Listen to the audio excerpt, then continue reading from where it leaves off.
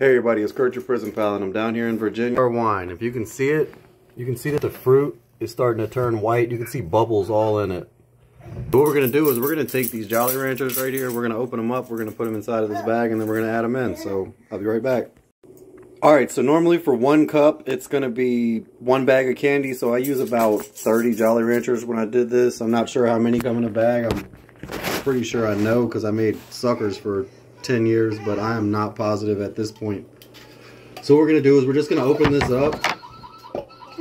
It should smell pretty bad. It does. No, it doesn't.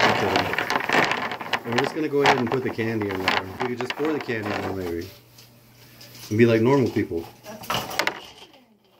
Alright, so what we're going to do now is we're going to take this and we are going to add hot water. Alright, so now that we have this, we're to go ahead and fill it up with the hot water out of the sink. We're to go ahead and put the cap on it.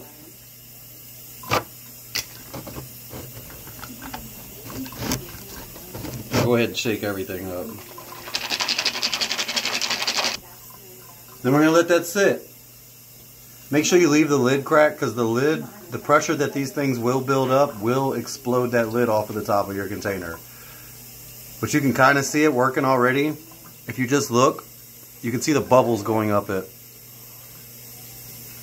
That's the yeast from the fruit attacking the sugar as